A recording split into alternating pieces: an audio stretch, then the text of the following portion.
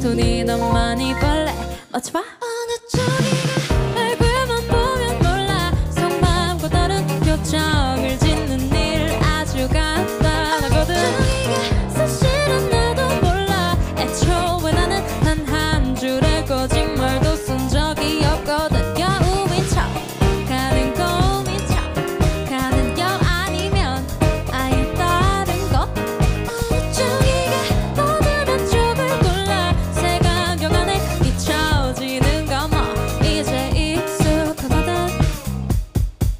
Check it out. 난 약간 뒤집어볼래.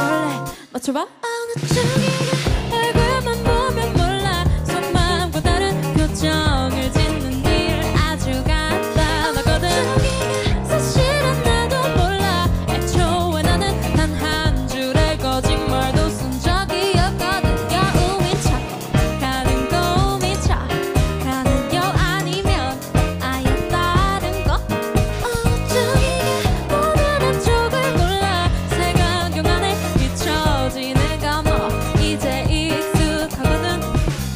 진 맘에 들고 싶어요?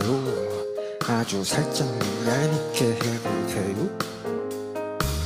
당신 맘에 들고 싶어요. 아주.